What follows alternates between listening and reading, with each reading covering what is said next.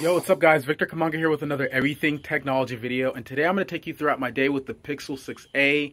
I'm using it as my daily driver. We're currently sitting at 95% and I believe it is currently 950 something. Um, I'll have that somewhere on the corner. But as you're watching this video, look at one of these corners. I'm going to have some progress bars um, to just show you what the battery life is so you have an idea of how well it's handling the day. And by the way, I'm actually vlogging right now with the front facing camera, but I'm to go ahead, go for a run, do a quick mile or two, and then I'm to come back, shower, go to the Apple store and pick up the brand new MacBook Air. Let's go ahead.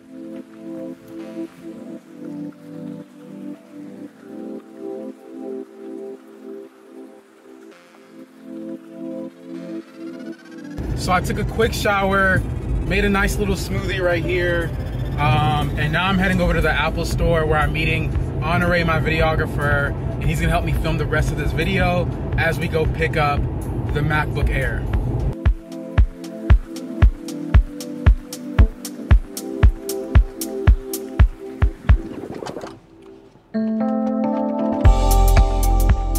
Okay, we made it to the Apple store. It is currently, let's check, 1147 a.m. So it's right before noon. We're sitting at 83% of battery life, which is honestly not that bad considering the fact that um, I took this out on a run. The phone is a little bit hot, to be honest with you.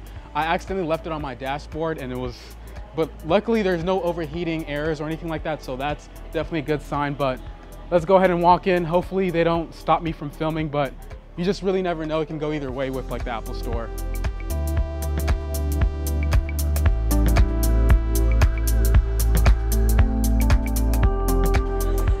Okay, so we just picked up the brand new MacBook Air. Unfortunately, they did not let us film in store. We're gonna go ahead and head over to the um, Augusta University campus, which is probably about like 10 minutes away from here, and shoot a video on this laptop, a student's perspective, since you guys seem to really enjoy that on the channel.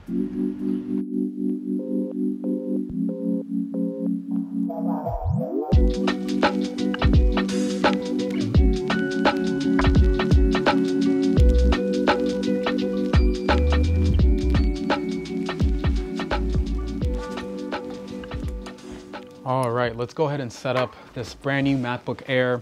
I decided to leave the box in the car just because I felt like it would be a huge hassle just bringing it in here in the library and having to carry all my camera equipment on top of that. But let's go ahead and take this out, this moffed sleeve. This is a midnight black. I believe that's what it's called. It does have this like blue tone to it in certain lighting conditions, but this is noticeably thinner than my M1 Pro MacBook. And yeah, I'm sure a lot of people are gonna appreciate this new MacBook Air. So as I'm setting this up, let's go ahead and pull out the Pixel 6a. Did you guys just see that? I kind of like put my fingerprint on there as if like this was my personal MacBook, but it's still not even set up. Anyway, that was just a habit that I'm kind of used to doing at this point. As far as the design of the Pixel 6a Pro, I actually really like it. I love this two-tone green colorway that went with. It's like a little bit darker here and it's a little bit lighter up here. Fact, let me put it side by side with my Pixel 6 Pro. Apparently this year, they're actually using plastic with this Pixel 6a, but for some reason, it doesn't feel like plastic. Even when I tap it, it sounds very similar to the Pixel 6 Pro. Um, so that is really nice. There is an aluminum frame that we have. Fortunately, there is no headphone jack. What I'm noticing more and more is that these cell phone manufacturers are transitioning. I wouldn't even say transitioning. I would say they're, yeah, I, I guess transitioning is a good word. They're essentially taking flagship phones and mid-range phones and kind of just merging the two. And you're noticing that even with the packaging, there is no wall brick like you get with some of the other mid-range phones. And just like the headphone jack is gone with their flagship phones. And I don't know what's gonna be next, but that's also kind of a good thing because mid-range phones are becoming more and more like flagship phones. So that's kind of incentive to just go with a mid-range device versus going a flagship phone because you're practically paying for the same exact thing. Now, another thing that I really do like is the fact that it feels really great on the hand. It's actually a lot smaller than the Pixel 5a and it's slightly smaller than the Pixel 6. I'm gonna put it side by side with the Pixel 6 Pro so you can have an idea of just what it looks like. You know, it's not that much smaller. Well, I mean, it's a, it's a lot smaller. Even the camera bar looks a little bit different. It's thinner and the design is slightly different, but it still has that signature Pixel 6 or Pixel camera bar that we got with last year's devices. And overall, this is a great phone. It's IP67 rated, meaning if you want to submerge this underwater, you can. Don't recommend it because that's always going to be a little bit sketchy, but in case you were to drop it in some water, you should be fine. And that's literally it in terms of the design. Um, one thing that I do wish we had, at least Google brought back, was the colored power button. That's gone. It is textured, so you can notice a huge difference between the volume rockers and the power button, which are both very tactile.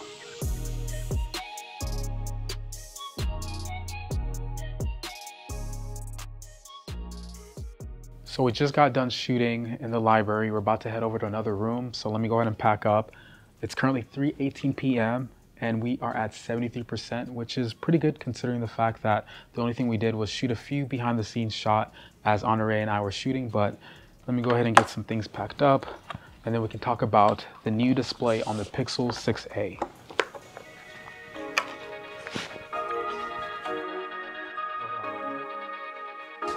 Okay, so this year, the Pixel 6a has a smaller display. It's sitting at 6.1 inches as compared to 6.34 we got with the Pixel 5a last year. It has a resolution of 1080p by 2400 and a pixel density of 429, which means it's plenty sharp. I have to say, the only thing that I don't like about it is the fact that there's this rainbow kind of like hue effect that you, it's not that noticeable unless like you're on a flat white screen, but when you kind of tilt it side to side, you can tell like there's something a little bit off. It's not that huge of a deal unless you put it side by side with like a flagship phone, which I did with the Pixel 6 Pro and my iPhone 13 Pro. Um, another thing that I'm not a huge fan of is the refresh rate. It's only 60 hertz. For a mid-range device, that's a little disappointing because I've seen phones half the price that have a 90 hertz refresh rate. So it doesn't feel nearly as smooth, especially as someone who's coming from a Pixel 6 Pro and iPhone 13 Pro Max. Now, aside from that, this will get the job done for most people.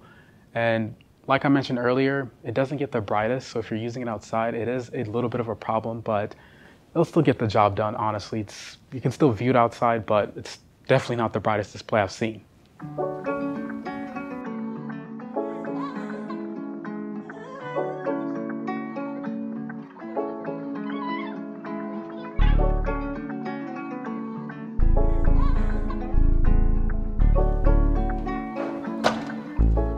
As I was walking, I forgot to mention the under display fingerprint scanner and setting this up took way longer than it should.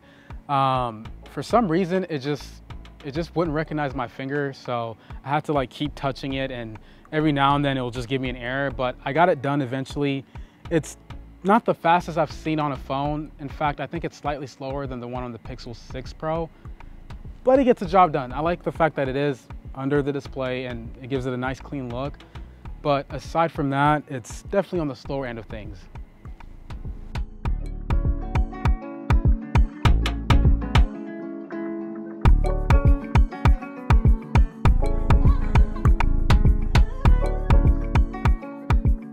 So we just got done eating Genghis. It was really, really good. If you have one in your local city, you gotta go check it out. It's amazing. Like, I'm not even exaggerating.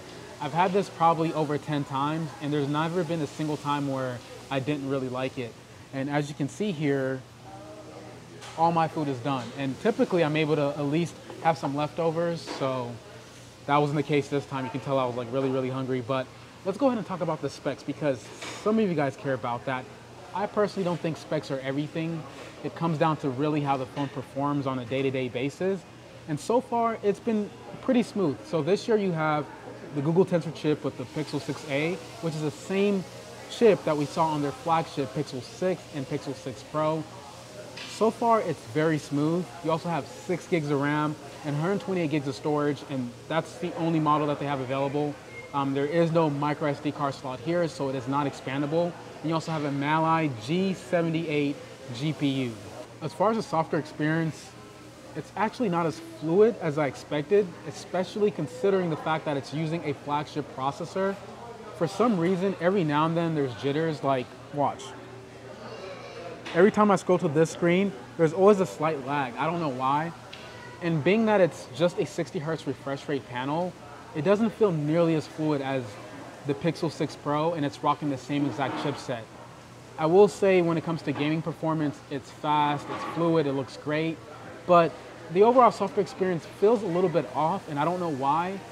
I'm sure that can be fixed with the software update, so hopefully Google does that, but if you plan on doing anything else like gaming on this phone, anything power intensive, you should be pretty solid, but I don't know why there is those slight jitters. It almost feels like a mid-range phone, even though it's rocking an actual flagship processor, but I think we're done for today. I'm gonna go ahead and head out.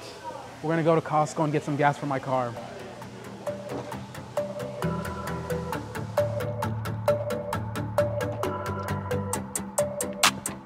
Oh, it is so hot out here. I don't even know what the weather is at. So it's 92 Fahrenheit right now. It's ridiculous.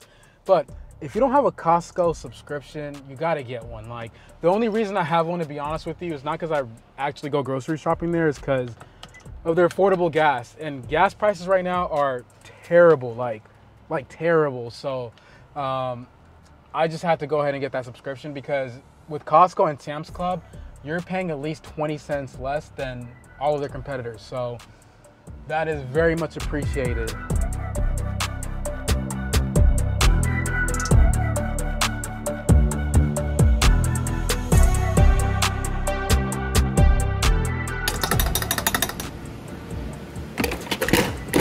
I miss the days when it was like 40 $50 to fill a tank.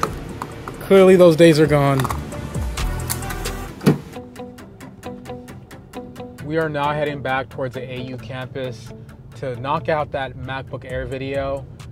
We decided to take that little break just because it's super hot outside here in this hot Georgia sunny weather.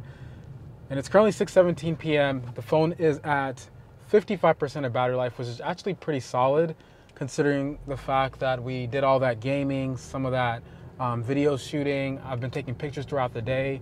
Um, yeah, that's that's not bad at all. I I could definitely see this lasting the entire day. I will say this is a normal day. This is not a heavy day of use. This is definitely a normal day of use. So if you are somebody who's concerned about this not lasting the entire day, you're not gonna have that problem.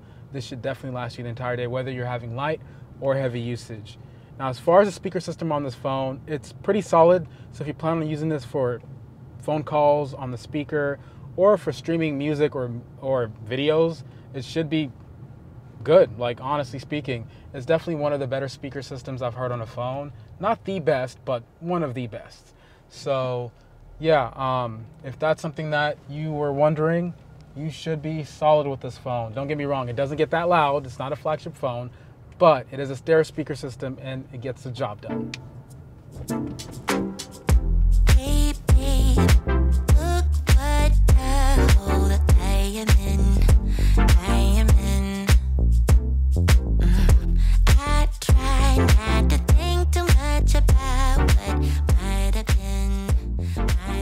Just wrapped up the MacBook Air shoot and it's so hot out here. As you can see, I'm literally like sweating.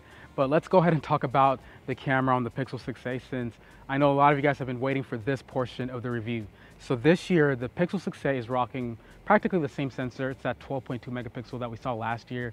It has face detection, autofocus, as well as OIS. It's capable of recording 4K at up to 60 FPS. You also have an ultra wide lens, which is 12 megapixel, and it's only capable of recording videos at up to 1080p, I believe at 30 or 60 FPS. It doesn't do 4K, unfortunately. And then the front-facing camera is 8 megapixel and it's capable of recording 1080p video, I believe at 30 FPS, and I'm not really sure if it's 60 FPS. If it's if I'm wrong, I'll put it somewhere on the screen.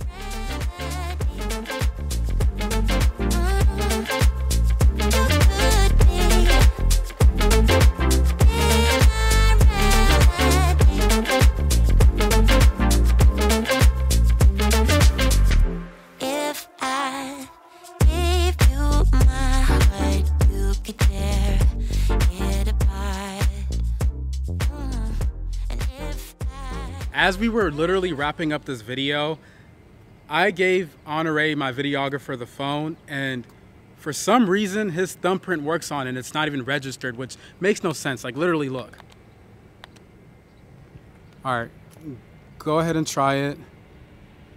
Okay, now lock it, try a different thumb or finger. Boom, doesn't work. Okay, now let me try my finger real quick. This is the one I registered with. Now watch, let's go to settings and let's see how many fingers are registered.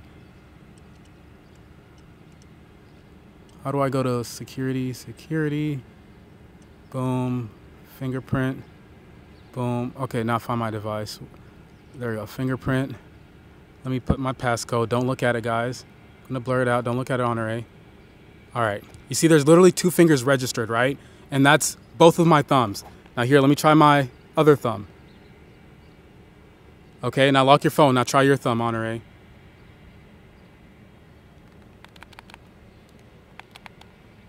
Let me flip this camera real quick. Well, there you have it. Um, the Pixel 6a is a little sketchy. Let me hand Honore the camera. It's 7.36 p.m. We're sitting at 42% of battery life. I am so tired. We're setting out, we're sweating out here. These mosquitoes are literally just tearing me up right now, but Google, please fix this because that is a huge, huge security issue.